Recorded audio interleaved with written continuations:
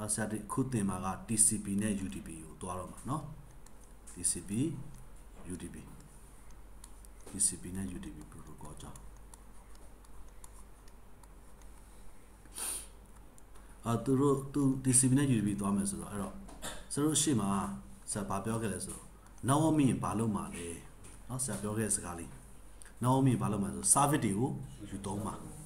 နောမင်ဆရာတို့ဆရာတို့နောမင်ဆရာတို့အရင်ဆုံးကုနာရီတို့နောမင်အောင်ချိန်လိုက်တယ်နောမီအောင်ဆိုတဲ့စကားလုံးတော့မှာတော့ကျေပြန့်တာအများကြီးရှိတယ်နော်အခုတော့ဒီမှာတင်ရတာကုနာရီနှလုံးကိုကျိုးတက်ပြီးတော့တိုက်ရိုက်လေးနောမီအောင်ချိန်ထားတာဟုတ်တယ်နော်ဟုတ်လားအဲ့ဒီကုနာနှလုံးကြားမှာ router တွေ firewall တွေပါလာပြီးဆိုရင်တော့အမှပညာရေးတွေကပါလာပြီဟုတ်ပြီနော်လက်ရှိတော့ကုနာရီနှလုံးဟုတ်လားကျိုးလေးနှစ်ခုတဲချိန်ထားတော့ IV လေးဟိုဘက်ဒီဘက်ပြလိုက်နောကမိသွားပြီလေဟုတ်တယ်နော်ဟုတ်ကဲ့အဲ့လိုနောမီတဲ့ခါမှာဆရာတို့ ပုံမှန်အဖြစ်ဘယ်လို service တွေယူသုံးလို့ရခဲ့လဲ remote desktop service တွေသုံးလို့ရတယ်ပြီးတော့ file sharing service တွေသုံးလို့ရအများကြီးတော့မရှိဘူးပေါ့ဟုတ်လား service ဆိုတာကတော့ဟိုဟို service ပေးတဲ့ program တွေထိုင်ရမှာတနည်းအားဖြင့် server program တွေဟုတ်ပြီနော် server program တွေဆရာတို့ထိုင်ရမှာအဲ့လို server program တွေထိုင်လိုက်တော့မှအဲ့ဒီသက်ဆိုင်ရာ server program ဘယ်သူနဲ့ပြန်ချိတ်ပြီးတော့မှာလဲ client program နဲ့ချိတ်ပြီးတော့သုံးဆွဲကြတာဟုတ်ပြီနော်ဟုတ်ပြီအဲ့တော့အနှစ်ချုပ်လိုက်ရင် network မိရင်ဘာလုပ်လို့ရမှာလဲ service တွေယူသုံးလို့ရမယ် service ပေးတဲ့သူကို server အဲ့ဒီ service သက်ဆိုင်ရာ service ကိုယူသုံးတဲ့သူကိုဘာလို့ခေါ်လဲ client နဲ့ယူသုံးတယ်ဒီလိုသုံးလိုက်တာ client ဆိုတာလူလည်းမဟုတ်ဘူး computer လည်းမဟုတ်ဘူးအဲ့ computer ရဲ့ operating system ထဲမှာ install လုပ်ထားတဲ့ program ဟုတ်ပြီနော် server ဆိုတာလည်းဒီတိုင်းပဲ hardware လည်းမဟုတ်ဘူးနော်ဟလားလူလည်းမဟုတ်ဘူးနော်အဲ့ဒီ server ရဲ့ operating system ထဲမှာ install လုပ်လိုက်တဲ့ service ပေးတဲ့ program တစ်ခုဟုတ်ပြီနော် server program ဒီလိုခေါ်လိုက်တာ server နဲ့ client အဲ့ဒီ server client နေသည် ဘယ် protocol ပေါ်နေဖြစ်လာလဲဆိုရင် TCP နဲ့ UDP အဲ့နှစ်ခုတည်းတစ်ခုပေါ်နေဖြစ်လာတာအဲ့တော့ဆရာတို့ကစကားလုံးအဖြစ်က TCP TCP ရဲ့ရှေ့ကောက်ပြောပါဆို transmission control protocol UDP ရှေ့ကောက်ပြောပါဆိုရင် user datagram protocol အော်ဆရာဒီမှာမရေးပြလို့မမှတ်ရလို့မပြောဘူးเนาะကိုကအိမ်မှာ internet ပေါ်မှာ TCP stand for လို့ရှာလိုက်တွေ့လိမ့်မယ် transmission control protocol ချမှတ်ထားမသိသေးဘူး UDP user datagram protocol မသိသေးရင်ချမှတ်ထား ဟုတ်ပြီနော် TCP UDP ဒီစကလုံးသုံးလုံးပဲကွက်ပြီးဆရာတင်တာပဲအာဂျီအဲ့လိုမျိုးမှတ်ခိုင်းတာမဟုတ်ဟုတ်ပြီနော်ဆရာလိုချင်တဲ့ပုံစံကိုနားလည်လားမသိဘူးကိုကလည်းကိုလည်းအများကြီးချက်ကားပြီးပြန်ရေးပြီးပြန်မှတ်ရမယ်โอเคအဲ့လိုဆိုရင် TCP နဲ့ UDP ဒီ protocol နှစ်ခု TCP ရှိမယ် UDP ရှိမယ်ဒီ protocol နှစ်ခုကိုကြားလိုက်တာ ਨੇ အများအားကိုတပည့်တွေရဲ့စိတ်ထဲမှာဘယ်လိုသိတာလဲ TCP ဆိုတာ protocol အဖြစ်ကနာမည်တစ်ခုပဲဆရာသုံးပြီးမယ်နောက်ွယ်မှာ TCP server ရှိမယ်တစ်ဖက်မှာ TCP server ရှိမယ်တစ်ဖက်က TCP client ရှိမယ်အဲ့တော့နှစ်ခုပေါင်းမှတစ်ခုဖြစ်တဲ့ program သူတို့ကတစ်ခုလည်းမဟုတ်နှစ်ခုပေါင်းမှတစ်ခုဖြစ်တာ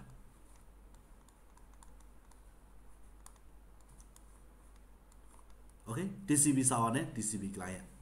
ဒါဆို UDP ဆိုရင်လည်းဒီတိုင်းပဲပေါ့တစ်ဖက်က UDP server เนาะနောက်တစ်ဖက်က UDP client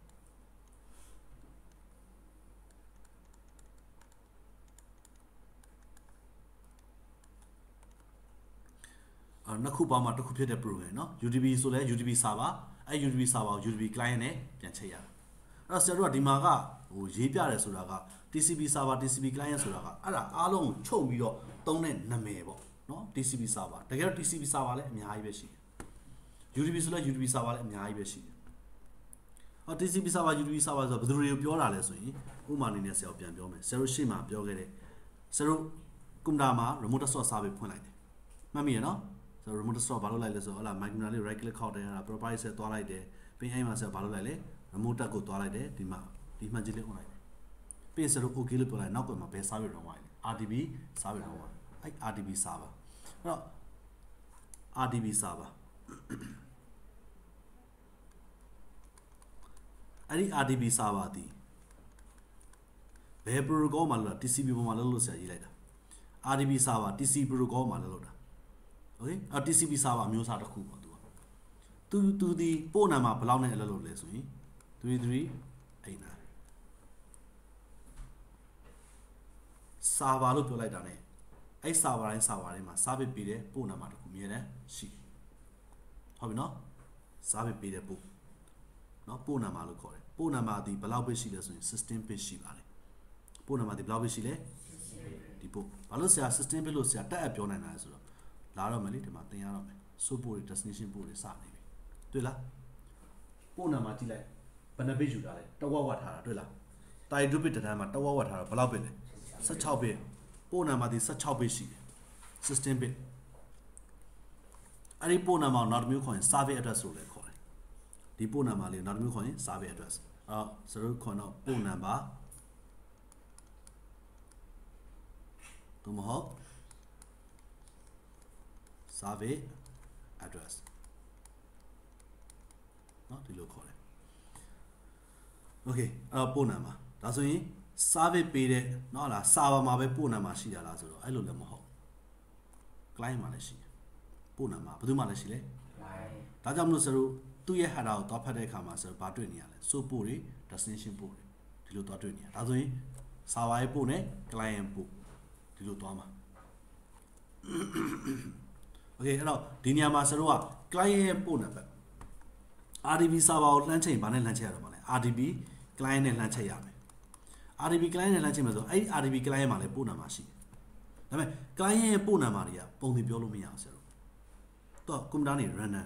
generate လုပ်ပြီးထုတ်ပေးတာဖြစ်ချင်တဲ့ပို့ဖြစ်မယ်ဒါဆိုပုံသေးပြောလို့ရတဲ့ပို့ကဘာတူလဲဆိုရင် service ပေးတဲ့သူရဲ့ပို့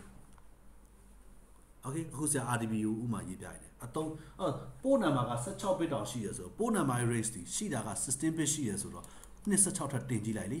ဘယ်လောက်ထိရလာမလဲသူရဲ့ range က 0 to 65535တိရှိဒါဆိုအများကြီးပဲပေါ့ရှိရှိမြဘယ်စာဘယ်စာဘာကဘယ်ပို့ဘယ်စာဘာဘယ်ပို့ဆိုတော့အကုန်လုံးဘယ်သူမှမမှတ်နိုင်ဘူး6535လေနည်းတော့မှမဟုတ်တာ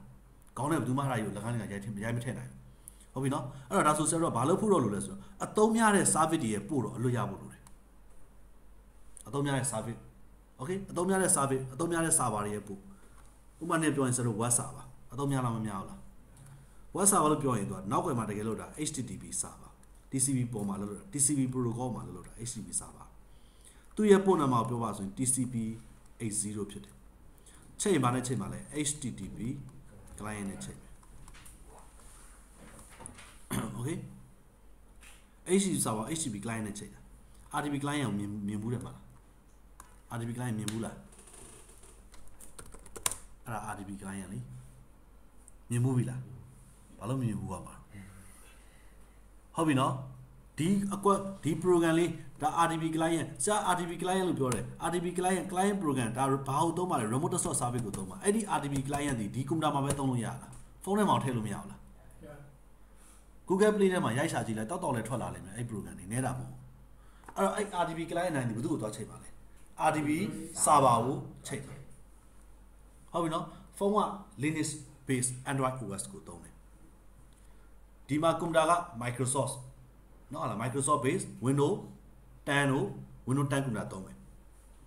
အဲ့တော့ဒီဘက်က Linux ဖြစ်နေလို့ဒီဘက်က Microsoft ဖြစ်နေလို့ချိန်လို့မရအောင်ဘာမှတန်တရားဝင်စရာမလိုအဲ့ဒါတွေ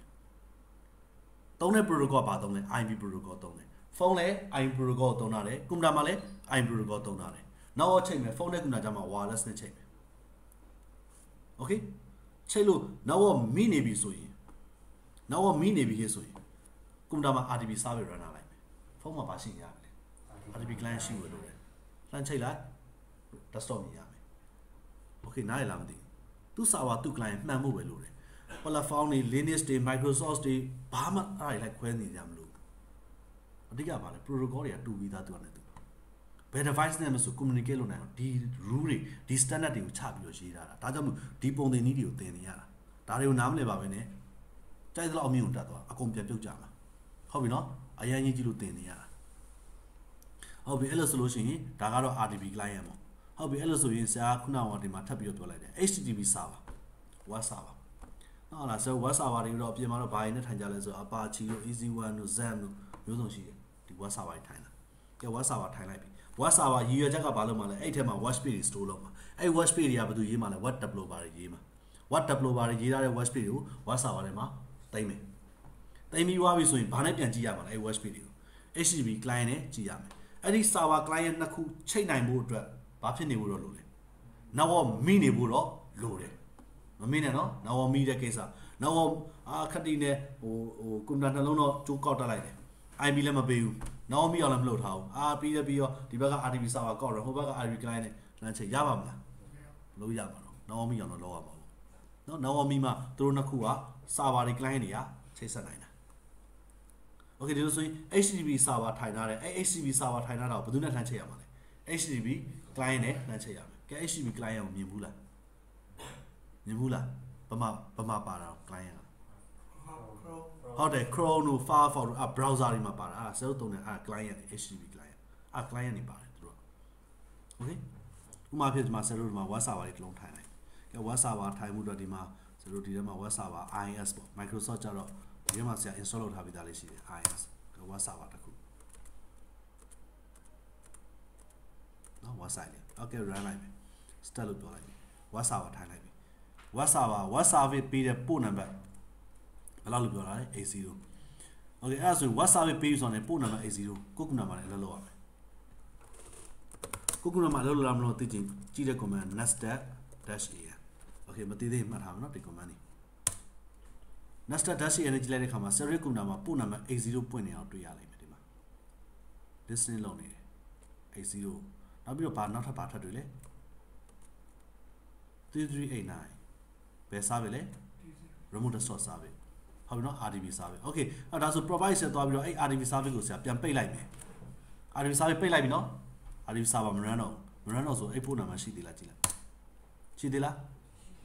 ရှိတော့အဲ့ service မ run တော့ကောင်းပြီအဲ့ဆို web service ပိတ်လိုက်မယ် service ပိတ်လိုက်ပြီဒီလို service တွေပိတ်လိုက်ပြီဆိုရင်သူ့ရဲ့သက်ဆိုင်ရာပို့နံပါတ်တွေလည်းဘာဖြစ်လဲပိတ်သွားပြီမရှိတော့နားရလားဟုတ်ဒီမှာတွေ့သေးလားမတွေ့တော့ဒါဆိုအဲ့လို service မပေးနေဆိုနှမ်းတော့မရမှာနောက်အမိတယ်ကိုမှဟိုဘက်မှာ client ရှိတယ်ဒါပေမဲ့ဒီဘက်မှာအဲ့ဒီ RDB service လည်းမပေးတော့ဆိုသုံးလို့ရအောင်လား web service သုံးမရအောင်လားဒါဆိုမရတော့ service ကလည်း ပေးမှာဟုတ်ပြီနော်ဒါကြောင့်မို့ဆရာခုပုံမှန်ကွန်ပျူတာ normally ရကွန်ပျူတာနှလုံးသားမမြင်ဘာလို့လို့ရလဲဘယ်လို service တွေယူသုံးလို့ရလဲ file and printer sharing service တွေယူသုံးလို့ရတယ်ဘာကြောင့် file printer sharing service ပေးတာလဲ file printer sharing service အတွက်နောက်ွယ်မှာလုပ်တဲ့ protocol ပေါ်ပြပါဆိုရင် SMB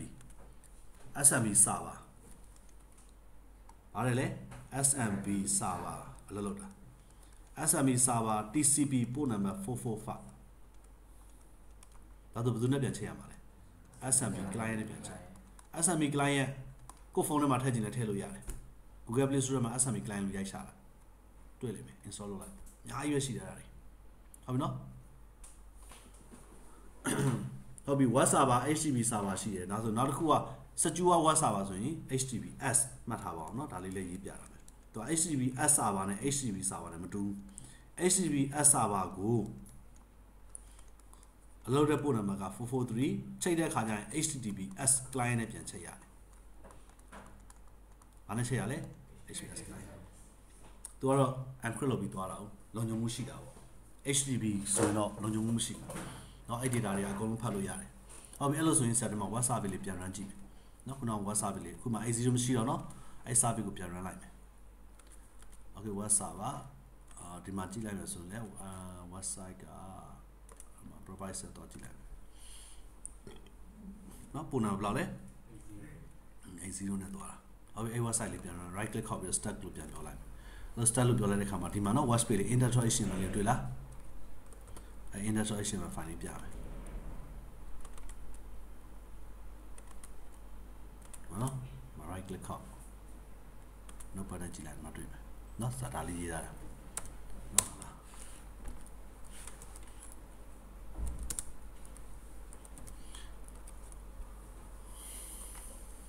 ဝေကန်ကလည်း training မှာနော်ဒါလေးရေးတာအခုမပြင်တော့ပါဘူးနော်ဒါလေးပဲမြင်နေရတာလေးပဲစိတ်ထားလိုက်မယ်ဟုတ်ပြီအဲ့ဒါလေးကိုဆရာတို့လှမ်းပြီးတော့ခေါ်ကြည့်မယ်နော်ဒီ watch page လေးအဲဒါဆိုရေးတာတော့ watch page လေးကတော့ simple simple ဖြစ်တယ်ပေါ့နော် watch page တစ်ခုတည်းပဲရှိတယ်အဲ့ watch page လေးကိုလှမ်းပြီးတော့ကြည့်မယ်လောလောဆယ်ဆရာတို့ကွန်ပျူတာထဲမှာပဲဘာ round ဝိုင်းလဲ80 listen လုပ်နေပြီဟုတ်ပြီရရသုံးလို့ရမရလှမ်းပြီးကြည့်ကြည့်အောင်ကဲ browser ဖွင့်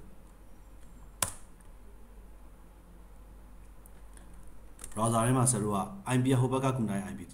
IP ပေးရသေးဘူးเนาะ IP လေးပြင်ပြင်အောင်မယ်ပေးပြရလားမပေးရလားမမှတ်မိတော့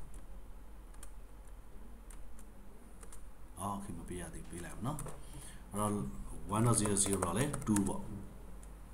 ဒီဘက်ချမ်းမှာတော့1.01เนาะ regular IP လေးနဲ့ပဲသွားအောင်နော်အဲနောက်ကြလို့ရှင်တော့ IP address နဲ့တင်ပြီးသွားရင်တော့ကိုပေးချင်တဲ့ IP ပေးလို့ရပါပြီ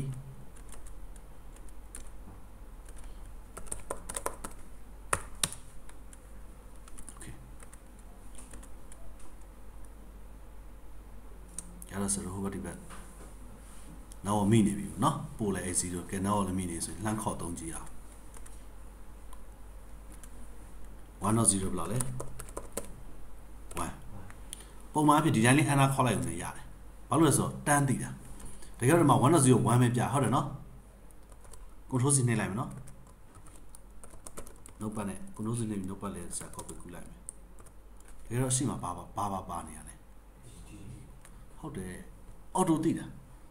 ဒါဆိုရင်ဆရာတို့ကအဲ့လိုမဟုတ်ဘဲနဲ့ကိုကိုတိုင်းဟလာဒီရှေ့မှာ http http colon slash slash 1.0.0.1အဲ့လိုရိုက်ခေါ်လည်းမရဘူးလားရတယ်ကြမယ်ဒီ watch page ကြလာမယ်တခုတော့ရှိတယ် https ဆိုတော့ရမှာမဟုတ်မတူတော့ https ဒီအဲ့ဒီ https ဆိုတဲ့ client ကဘာလို့တွက်ချိန်မှာလဲ https server ကိုချိန်တာ web server တော့ web server ဒါပေမဲ့ secure web server နဲ့ဆိုလို့ unsecure web server ကွာသွားတာ ဒါတော့ unsecure ဖြစ်သွားပြီ1.0.1အဲ့ဒါခေါင်းတော့မတူတော့443သူကတော့ကြာမှာဒီဘက်မှာတော့ကြာတယ်နိုင်လားဒါကြောင့်လို့သူတက်ဆိုင်ရာ server ကိုတက်ဆိုင်ရာ client နဲ့ပဲချိန်လို့ရတာမှားလို့မရတာတွေသူ server နဲ့သူ client နဲ့ဟာဒါဆို server client နေဆိုတာဘယ်ဘယ် protocol ပေါ်နေဖြစ်လာတာဆိုတော့တွေ့နေလဲခု TCP နဲ့ UDP protocol ပေါ်ဖြစ်လာတာအဲဆိုအပြင်မှာပြောနေတဲ့ server server server ဆိုတာမျက်စိထဲမှာ server လို့ပြောလိုက်ရင်ဘာကြီးပဲသွားမြင်လဲ ကွန်ပျူတာ hardware ကြီးပေါ့ကွန်ပျူတာအကြီးပေါ့အဲ့လိုသွားမြင်ကြတယ်မှတ်လားတကယ်တော့ server ဆိုတာကွန်ပျူတာအဲ့လိုကွန်ပျူတာအကြီးလားစာပေပေးတဲ့ program နားလည်ပြီနော်ဒါကြောင့်မို့ဆရာ high performance computer server အပြင်မှာပြောနေတဲ့ဆရာတို့နော်ဟာလားကွန်ပျူတာလို့သုံးနေတဲ့နော်ဟာလား server တွေကဘာလဲတကယ်တော့ high performance computer တွေဥပမာဆရာကွန်ပျူတာမှာဆရာ server တစ်လုံးနော်အပြင်မှာ server လို့ခေါ်ရတဲ့အကြောင်းရင်းလေးဘာဖြစ်လို့သူတို့ server လို့ခေါ်ရတာလဲဆိုတော့လည်းပြန်သုံးသပ်ကြည့် ဟုတ်ပြီဆရာတို့ Dell အမှာ R 840ဒါလေးပြန်ကြည့်ကြည့်မယ် Dell R840 လေး R840 ကိုကြည့်လိုက်ရင်သူ့မှာက CPU လေးလုံးလေးလုံးတက်လို့ရတယ်เนาะဒါ Dell R840 ရဲ့ပုံစံပေါ့เนาะ CPU ထဲမှာ CPU ဘယ်လုံးလဲလေးလုံးတက်လို့ရတယ်เนาะ share ပေါ့1 2 တွေ့နော် CPU လေးမှာ1နော်3 4ဟာလားလေးလုံး memory card တွေလည်းအများကြီးတက်လို့ရတယ်အာဆာဗာလားကွန်ပျူတာလားတေးသေးချာချာခွဲတိတိကျခွဲအာဆာဗာလားကွန်ပျူတာလားကွန်ပျူတာဒါပဲဒါဆိုအဲ့ကွန်ပျူတာကြီးကိုဝယ်လိုက်ပြီဟုတ်ပြီနော်အခုဒီ Dell i40 ကအခုလက်ရှိဆဲဟိုနော် CPU လေးလုံးအတိအကျစိုက်မယ် RAM တွေလည်းအကုန်ပြည့်ဝစိုက်ထားမယ်ဆိုရင် RAM တွေ RAM တစ်ချောင်း 64GB နဲ့တွက်လိုက်တစ်ချောင်းနဲ့ပဲ 64GB နော် နှစ်ချောင်းစိုက်မယ်ဘယ်လောက်ဖြစ်သွားလဲ1 2ဒါဆို RAM အပြည့်တက်လိုက်ပြီဆို terabyte ထိထွက်လာမှာအဲ့ဒီ RAM အဲ့လောက်ထိစိုက်နိုင်တာပုံမှန်အိမ်သုံးခုတိုင်းမှာစိုက်လို့ရတာဒီမှာပဲရတာဒီလိုခုတိုင်းမှာကဲဝယ်လိုက်ပြီဒါကြီးကိုသုံးပြီးဝယ်လိုက်ပြီနော်အဲ့လိုမျိုးဆရာတို့ဆရာခုနလိုမျိုးပြောတဲ့ပမာဏပေါ့ RAM ကလည်း terabyte ထိထွက်သွားပြီ CPU ကလည်း၄လုံးပေါ့နော်တစ်လုံးမှာဆရာတို့ကတစ်လုံးမှာ6ကဘယ်လောက်ပါမလဲဆိုတော့24 6ပါမယ်တ CPU တစ်လုံးမှာ24နဲ့ပဲတော်တော်တာနော်စာဘာမှာ i3 i5 i7 နဲ့မရှိဘူးနော် စာဘာမှာလာမပြောဘူးအဲ့လိုမျိုးတွေစာဘာကလာလို့ရှိရင် processor တွေကတော့ Intel ထုတ်တဲ့ Xeon processor ရရှိမယ်နောက် AMD ကထုတ်တဲ့ processor ရရှိမယ်ဒါတွေသုံးတာဒါပေမဲ့တကယ်တမ်းဆရာတို့သုံးများတာတော့ Intel ကိုပို့သုံးမယ်နော်ဆရာတို့ကြိုက်တာတော့စာဘာ processor ဆိုရင် Intel Xeon processor တွေပဲဆရာတို့ကြိုက်တယ်နော်သူကစာဘာ i3 i5 i7 လို့မလာဘူးနော် okay အဲ့ဒါ desktop ကွန်ပျူတာတွေလူသားတွေသုံးတဲ့ PC တွေအတွက်ရည်ရွယ်တာဒါဆိုရင်ဆရာတို့ဒီကွန်ပျူတာကြီးဝယ်လိုက်ပြီ ဟုတ်လား CPU ကလည်းအဲ့လောက်များပြီဆိုရင်တော့သိကြတယ်အဲ့ကွန်ပျူတာရဲ့ပေါက်ဈေးဒီဘယ်လောက်ဖြစ်သွားနိုင်လဲဆိုရင် RAM လည်းပြည့်စိုက်ထားတာနော်အနည်းဆုံးတော့300 400လောက်တော့သွားပြီအဲ့ဆိုဝယ်လိုက်ပြီဝယ်ပြီးွားပြီဆိုရင်အဲ့ server ပေါ်မှာ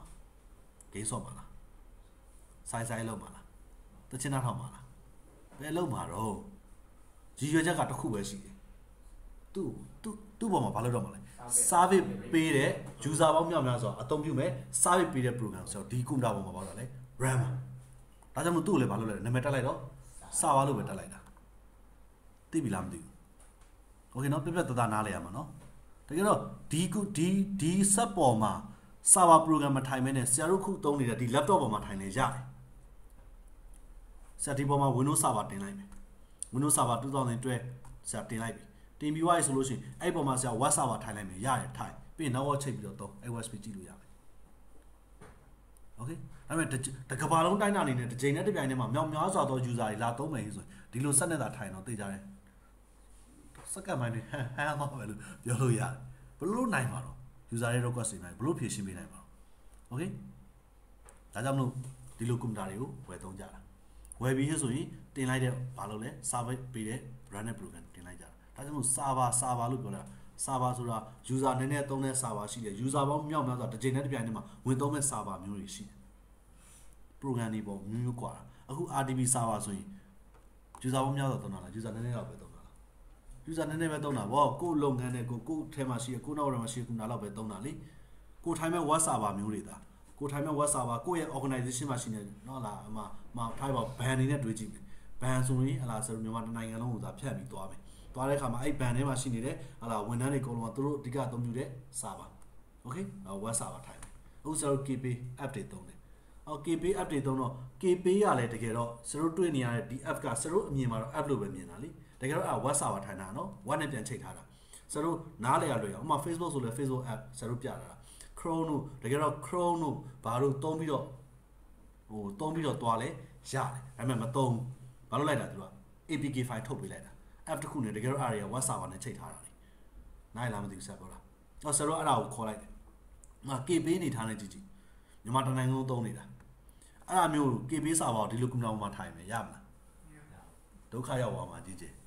ဟုတ်ပြီနော်ပြီးရင်တစ်ကမ္ဘာလုံးက data တွေအာဟိုမြန်မာတိုင်းနိုင်ငံလုံးက data တွေနော်လား transition တွေကလည်းအများကြီးသွားနေတာအဲ့ဒါကိုဒီလို14ပေါ်မှာထိုင်မယ် backup လည်းမရှိဘူးဆိုရင်သွားပြီးသားမှတော့ပြတ်သွားရင်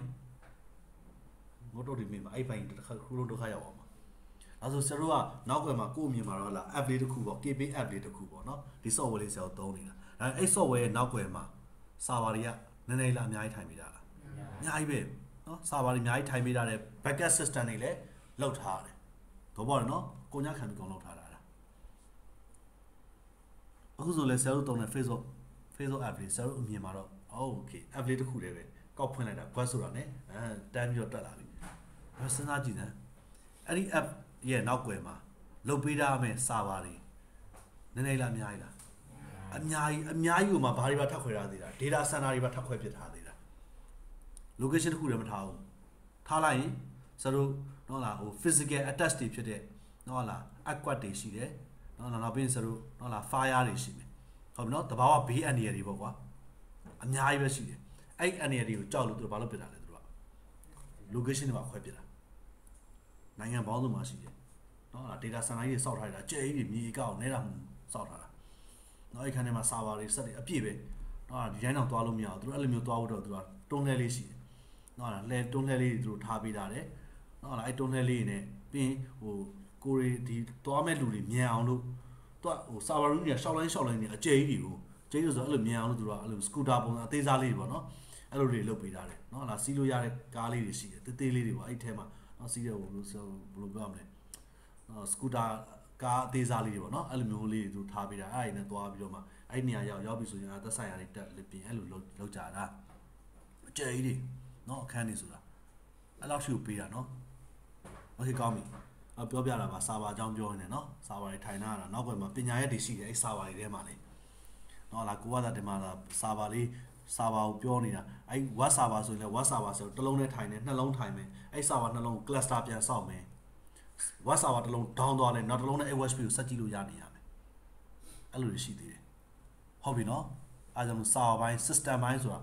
အဲ့ဘက်ကိုထပ်လိုက်သွားတာ server ဘိုင်း server ဘိုင်းဆိုတာနော်ဟာလား system engineering ဆိုပြီးတော့တလိုင်းတက်တက်ထပ်ဖြစ်သွားတာ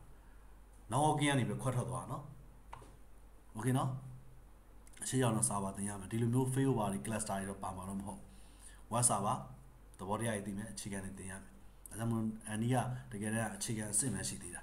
နော်သူထက်အမြင့်နေကြံနေသေးတယ်ထပ်သွားမှာကိုကဘယ်လမ်းကြောင်းဝါနာပါလာလဲပေါ့နော်နော်လုံးဝ no king back ကိုတီးတန့်သွားမယ်ဆိုရင်နော် routing switching back တွေလေ့လာမှာနော် routing switching back ကတော့ now on me on ပဲလောက်တာအဲ့တော့ now on me ဖို့ဆိုတဲ့စကားလုံးတော့မှလွယ်တယ်မထင်နဲ့နော်ဟာလား now on me ဖို့ကြီးပဲလောက်တဲ့အတန်းတွေပြောပြမယ်နော်ဟုတ်အပြင်မှာတော့ဒါ Cisco ရဲ့ certificate ကနာမည်ကြီးလို့လူတော်တော်များတော့ဒါ Cisco certification တွေကိုသွားကြတယ် เนาะတကယ်တော့ routing switching က Cisco တခုတည်းရှိတာမဟုတ်ဘူး Huawei ZTE ဟုတ်လားဟို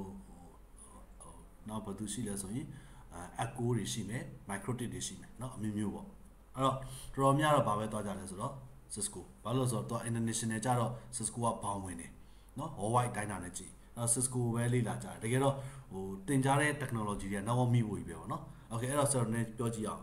Cisco မှာဆိုရင်ဆို CCN နေစတတ်ကြတယ်တော်တော်များ CCN နေ associate လေပဲ နာဝမီဖို့ပဲနော်တင်ကြားမဲ့တင်ခန်းစာတိုင်းဘာဘာလို့ဘာဖြစ်ဖို့ပြီပဲလေအဲ့ဒါပြီးပြီလားဆိုမပြီးသေးဘူး CCM နေပြီးုံနဲ့ CCMP အဲ့လည်းဘာပဲတင်ရမှာလေနာဝမီဖို့ပဲတင်ရမှာနော်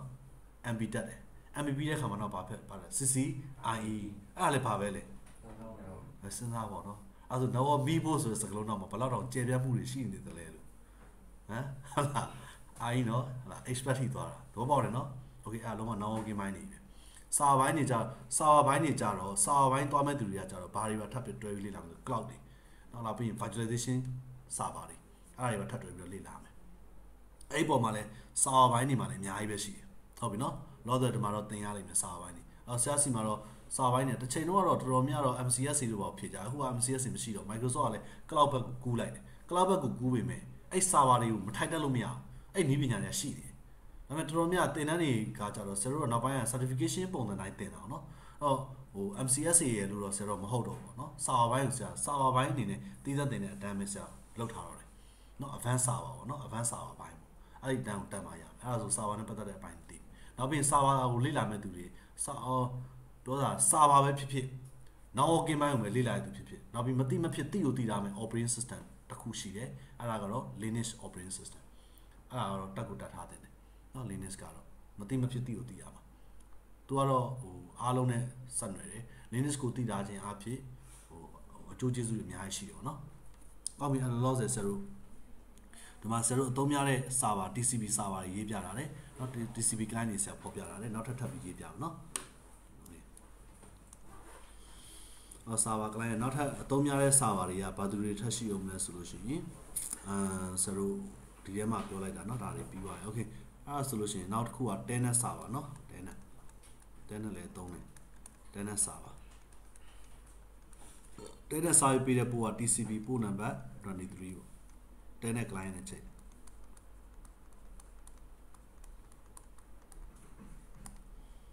နောက်ပြီးရင် tenant server tenant client နဲ့ချိန်တယ်နောက်ပြီးလို့ရှိရင်အာဘယ်သူရှိ SSH server ပေါ့နော် SSH က secure share ပေါ့နော်သူကတော့ခေါ်တာ secure share လို့ခေါ်လိုက်တာအဲဒါ TCP port number 22 SSH client နဲ့ချိန်တယ်နော် SSH client အာနောက်ဘာထပ်ပြီးတော့သုံးများလဲဆိုရင်သုံးများစာပါ okay main နော် main နဲ့ပတ်သက်တဲ့စာပါ POP3 စာပါ TCP port number 110 POP3 client နဲ့ချိန်တယ်နော် POV server POV client နဲ့ချိန်တယ်ပြီးရင်အာ IMS server IMS internet message access protocol နော် IMS server TCP port number က143 IMS client နဲ့ချိန်တယ်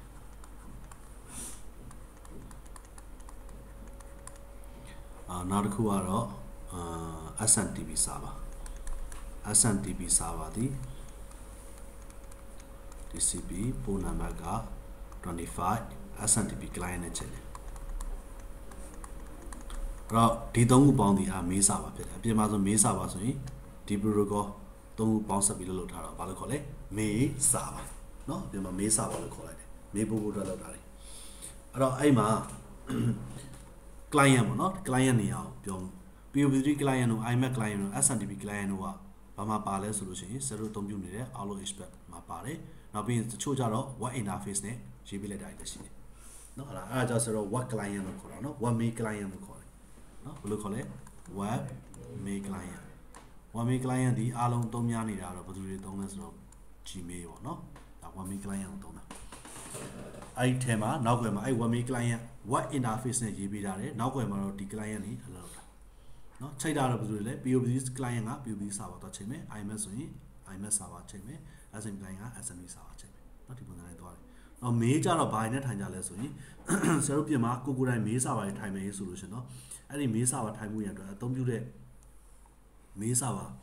เนาะလာမေးစာပါတော့အသုံးပြုတဲ့ဟာဘာအသုံးလဲဆိုလို့ရှိရင်ဆိုတော့ Zimbra ရှိမယ်เนาะသူကတော့ Linux base ပေါ့เนาะ Zimbra မေးစာပါရှိမယ်နောက်ပြီး Microsoft ကထုတ်ထားတာဆိုရင်เนาะ Exchange စာပါရှိမယ် Microsoft Exchange စာပါပေါ့เนาะ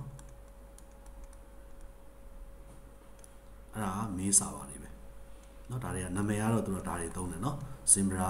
Exchange စာပါ Exchange စာလို့ပြောလိုက်တာမေးစာပါလို့သိရမယ်เนาะ Microsoft ထုတ်တယ်ဒါပေမဲ့အခုနောက်ပိုင်းတော့ Microsoft က Exchange စာပါကရှိတော့ထုတ်တော့ထုတ်တယ်ဒါပေမဲ့เนาะလားတော်တော်များများကသုံးကြတာကြတော့ဒီလိုဟိုကိုကိုတိုင်း local မှာ on premises ထိုင်တာမျိုးကနည်းနည်းရှားလာပြီ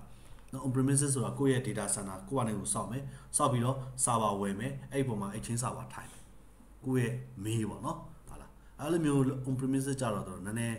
ဟိုစစချင်းမှာ initial cost ကတော့များတာပေါ့နော် initial cost ပမာဏကဥမာ server ဝယ်ရတဲ့တန်ဖိုးရှိမယ်နော်ပြီးပြီဆိုလို့ရှိရင်သူဒီတိုင်းနဲ့မပြီးဘူးအဲ့ server 24နာရီ power run ရတော့အဲ့တော့ power ပိုင်းရှိတယ်နော်ဟာလားအဲ့ပြီးတော့နေရာလည်းပေးရတော့မယ်ဟုတ်နော်နေရာပေးရမယ်ပြီးရင်ဟာလားဒီတိုင်းလည်းမရဘူးတစ်ကဘာလုံးနော်ဟာလားကိုယ့်ရဲ့ mail server ကနော်ဟာလားတခြားမှ Gmail တို့ဘာတို့ကနေလှမ်းပို့မယ်အဲ့တော့ဆိုတော့ဘာလို့လဲဆိုရင် internet line connection ကောင်းကောင်းလိုမယ်ပြီးရင် public IP လည်းလို လိုအပ်ချက်တွေအဲ့လိုမျိုးရှိတယ်အဲ့လိုမျိုးများတဲ့ခါကျတော့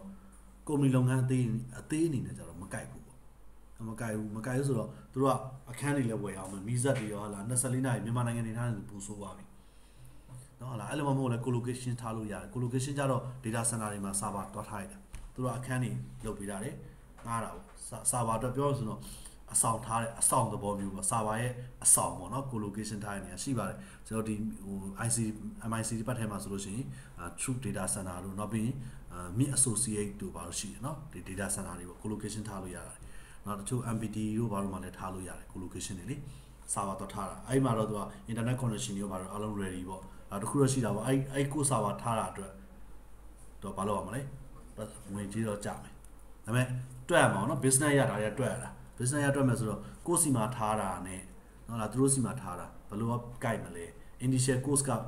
course ကဒီတေချာတာတော့ကိုယ့်အနေကိုလောက်တာဆိုတော့ initial course တော့များမယ်ဒါပေမဲ့ future plan ကိုကြည့်ရင်တော့သိပေးစရာမလိုဒါပေမဲ့အဲ့ဒါကြတော့အများကြီးရှင်းရမယ်ဆို company တွေအတွက်ကြတော့မကြိုက်အဲ့လိုမျိုးရှိအဲ့တော့အမျိုးမျိုးအဲ့လိုမျိုးရှိရခါကျတော့နောက်ပိုင်းနေမှာ Microsoft ကတော့ဘာလုပ်လိုက်လဲဆိုတော့နော်တိမ့်ပိုက်ပြတာနော် Microsoft Exchange ဆိုတာအခုအပြင်မှာတော့ Office 365 Office 365နာမည်နဲ့သူက เนาะဒီ Office 365မှာသူကတကယ်တော့ Office 365ဝင်ရင် Exchange တွေပါတယ်သူကတကယ်တော့ email တွေပါတယ်သုံးလို့ရဆိုနောက်ကွယ်မှာတကယ်တော့အဲ Exchange server ပဲပြန်လုပ်ထားတာ Microsoft အဲ့လိုသိမ့်ပိုက်ပလိုက်တာဘာနာကြီးတွေလေเนาะလားအဲ့လိုသိမ့်ပိုက်လိုက်တဲ့ခါကျတော့ဇတို့ဘာဖြစ်တယ်လဲဆိုတော့ဇတို့ကရှင်းပြောရင်ဆိုတော့အဲ့ cloud တွေပေါ်လာဇတို့အနေနဲ့ပြောသိမ့်မကြိုက်ဇတို့ဇတို့အနေနဲ့ကြည့်အများအနေနဲ့ကြည့်တော့ okay တယ် good တယ်ကိုတယောက်တည်းအနေနဲ့တူတယောက်တည်းအတွက်ကိုယ့်ရဲ့အတားနဲ့ကြည့်မယ်ဆိုတော့သိမ့်မကြိုက်เนาะလားအများအနေနဲ့တော့ကြိုက်တယ် okay အဲ့တော့ အဲ့တော့ဆရာအနေနဲ့ဆရာကြည့်ပြီးပြောနော်ဟုတ်လားကိုယ့်ရဲ့အတ္တအနေနဲ့နော်ဟုတ်လားကြည့်ပြောပြတော့ဘာလို့မကြိုက်လဲဆိုတော့အရင်တော့ဆိုကွာအိတ်ချင်းစာပါဆိုရမ်းထိုင်ရတယ်ကုမ္ပဏီလုပ်ငန်းတိုင်းအတွက်အသက်က email ပဲကုမ္ပဏီလုပ်ငန်းတိုင်း email ကိုမရှိမဖြစ်သုံးရတာနော်သူတို့ email တွေအာဘာလို့ဆိုတော့တခုလောက်လောက်ပြီဆို email တွေပဲအကုန်လုံးလုပ်ကြတာ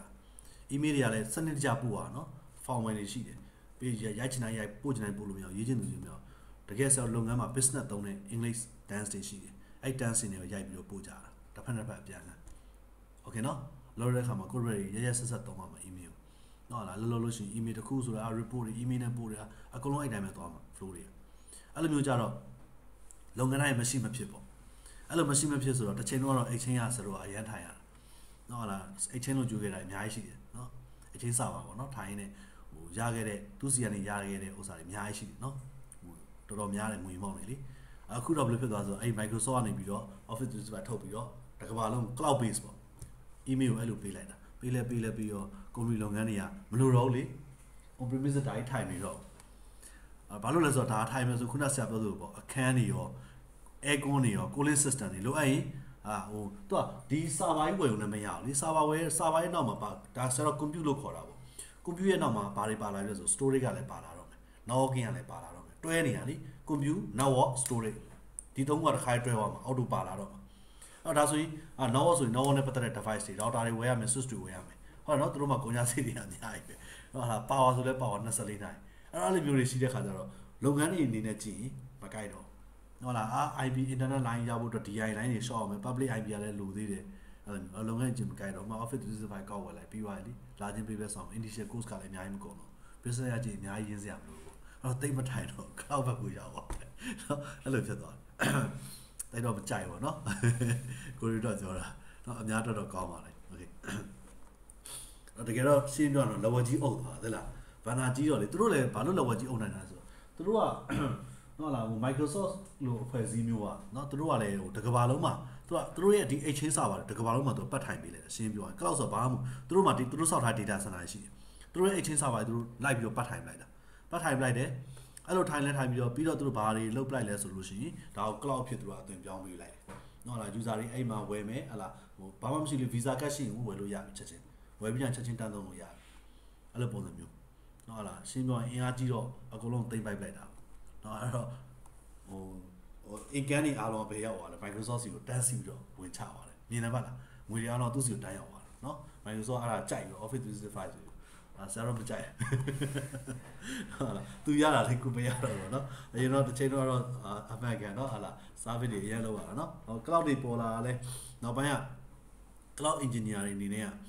ဟုတ်လားဟိုလောက်ကွက်လေးတွေကနည်းနည်းဘယ်လိုပြောမလဲ cloud ပေါ်လာတဲ့ခါကျတော့မကောင်းမို့ကောင်းတာတော့ကောင်းတယ်ဗောနော်လုပ်ငန်းတွေမြန်မြန်ဆန်တိုးတက်တယ်မကောင်းတဲ့ချက်ကဘာလဲဆိုတော့အဲ့ cloud တွေပေါ်လာတော့တော်တော်များ cloud ပေါ်မှာ server physical server တွေကတချို့ကြတော့ physical server တွေဝယ်တယ်လုပ်ငန်းတွေမှာသုံးတယ်တ ချို့ကြဝယ်စရာမလိုတော့ဘူးလေတချို့ကြမဝယ်တော့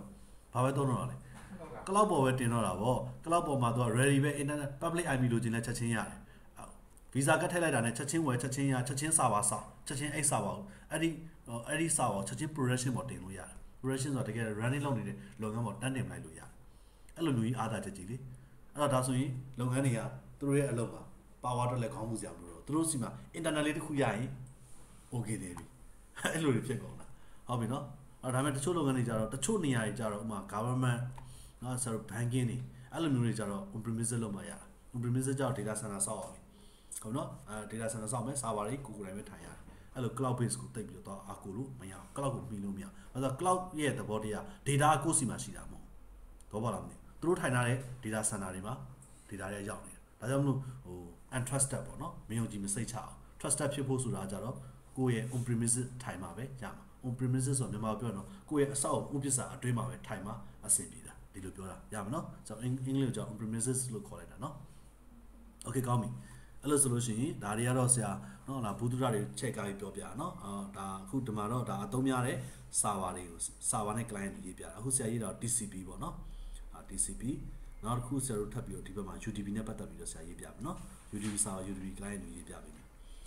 UDP server ကြတော့ UDP server မှာကြတော့ဘယ်သူရှိမလဲဆိုတော့အာ SIP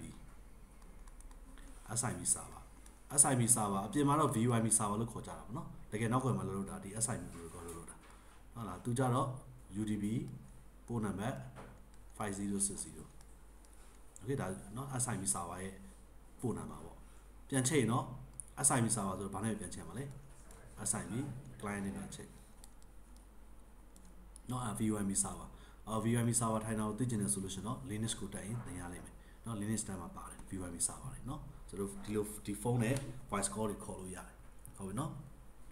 အခမဲ့ free ဖြစ်သွားပြီနော်ကို line နဲ့ကိုခေါ်တာဟုတ်ပြီနော်ဖုန်းတွေကဒါပေမဲ့အဲ့ဒါကြောင့်လဲ network က chat ထုတ်ပြပါလေအခုလဲအခု operator ထိုင်ထားရဆိုတော့နောက်ွယ်မှာလဲအဲ့ဒီ VOM server တွေပဲထိုင်ထားတာနော်အဲ့ရနေပြီးတော့ဆိုတော့ပါတော့လေ number လေးထုတ်ထုတ်ပေးတာတော့ဘာလားမသိဘူးနော်အဲ့ server တွေ ဟုတ်ပြီအာနောက်တစ်ခုကတော့နောက်ပါရှိမလဲဆိုလို့ရှိရင်အာ SIP server ဟို assignment client ချိန်တယ်နောက်တစ်ခုကဘာရှိအောင်လဲဆိုတော့အသုံးများတာเนาะ RTB server เนาะ RTB server RTB server RTB client နဲ့ချိန်အသုံးများတဲ့ဟာကိုပဲဆက်ရေးပြပေးတာเนาะတခြားဟာတွေတော့ရှိမယ်အသုံးများတာဒါတွေကအသုံးများတာအော် RTB server RTB service ပေးတဲ့ပို့ကတော့သူကနည်းနည်းများတယ်เนาะပို့က range ရှိပါတယ်အဲ range ကိုချက်ကြည့်ပေးမယ် ယ်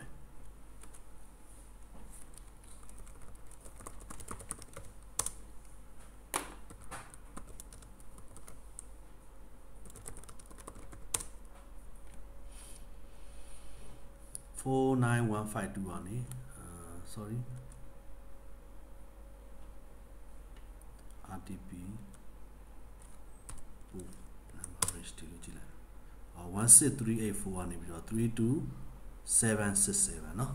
ဒီပို့အာ RTP service သုံးတဲ့ပို့တယ်အဲ့ထက်ကနေသုံးလိုက်မယ် RTP service နော် UDP ပေါ့ okay okay အဲ့ဒါဆိုရင်အခုဆရာတို့မှာပြောလိုက်တာတွေကเนาะဒါဆိုတော့ဒါ server client အဲ့တော့ဒါဆိုနှစ်ချုပ်လို့ရှိရင် TCP UDP protocol အဖြစ်နှစ်ခုပေါ့เนาะဆရာတို့ရဲ့တကယ် data တွေကိုတော့လာဟိုဘက်ဒီဘက်အပြန်လှန်เนาะဟာလာဆရာတို့ပို့ပို့ဆောင်ပေးဖို့ရန်အတွက်ပေါ့เนาะဟာလာဟိုလုပ်ပေးမဲ့နေရာမှာပါဝင်သော protocol တစ်ခုပေါ့เนาะ TCP UDP ဆိုတော့ data ကိုပို့တာတော့ IP protocol ပို့ပေးမှာပေါ့เนาะ TCP UDP ရဲ့အလုပ်ကကြတော့သူတို့ကိုနှစ်ချုံရင်တော့သူတို့ရဲ့အလုပ်ကတော့ TCP UDP ရဲ့အလုပ်ကိုနှစ်ချုံရင်တော့သူတို့ရဲ့အလုပ်က data တွေကိုပိုင်းပိုင်းပိုင်းမှာ data တွေဘာလို့မလဲပိုင်းပိုင်းပိုင်းမှာเนาะဟုတ်လားပိုင်းမယ်ဘယ်သူကပိုင်းမလဲဆိုတော့ TCP သို့မဟုတ် UDP ပေါ့ပိုင်းတဲ့ခါမှာ TCP ဆိုရင်ဘယ်လောက်ပိုင်းမလဲဆိုတော့1460ပိုင်းနိုင်မယ်ဘာလို့ဆရာဒီလိုပြောနေလဲဆိုတော့ TCP header ကြည့်ကြည့်ဘယ်လောက်ပိုင်းလဲ20ပိုင်း TCP header 20ပိုင်းရှိတယ်ဆိုတော့ IP header ဘယ်လောက်လဲ20ပေါင်းလိုက်40 1540နှုတ်လိုက် ပဲဒါဆိုရင် DCB ရဲ့ maximum segment size လို့ခေါ်တယ်ဆရာတို့က DCB maximum segment size ဆရာတို့တို့ကောက်တော့ရင်တော့ DCB MSS ပေါ့ဘယ်လောက်ရှိလဲ1460 by အဲ့ဒါသူတစ်ခါပိုင်းပိုင်းမဲ့သူပိုင်းမဲ့ပမာဏအပိုင်းပိုင်းပေါ့ဆရာတို့မှာဟိုကွန်ပျူတာ1နဲ့ကွန်ပျူတာ2ရှိပြီနော်ကွန်ပျူတာ1က web server http server သူ့ထဲမှာဆရာတို့ file တစ်ခုထည့်ထားမယ်ဆရာ download ချမယ်ကွန်ပျူတာ2က download ချမယ်ဘယ်ဘာနဲ့သုံးပြီးချမှာလဲ http client သုံးပြီးတော့ download ချမယ် ဟုတ်ပြီနော် download ချမှာဆိုသူကလည်းအပိုင်းပိုင်းနေပိုင်းမယ်အပိုင်းပိုင်းပိုင်းတာဘယ်သူကပိုင်းမှာလဲပို့ပို့မဲ့သူဘက်ချမ်းပို့မဲ့သူဘက်ချမ်းပိုင်းမယ်ဆိုစာဝဘက်ကပိုင်းမှာနော်ပိုင်းတာစာဝဘက်ကဒါ download ချရဲဆိုတော့ server server ထဲမှာရှိနေတဲ့ data ကို client ကလှမ်းယူပါလေအဲ့တော့ပို့မဲ့သူကဘယ်သူကပိုင်းပို့ဘယ်သူကပို့တဲ့သူဖြစ်တာ server ပို့တဲ့သူ upload လုပ်တာမဟုတ် download ပေါ့နော် server ပို့တဲ့သူ client ကယူတဲ့သူဆိုတော့ပို့တဲ့သူဘက်ချမ်းမှာရှိနေတဲ့ TC protocol ပေါင်းပါလေအဲ့ဒီ ဆရာခုနက download ချမယ်ဟို ISO file ဆို ISO file ပေါ့ MP4 file ဆိုလဲ MP4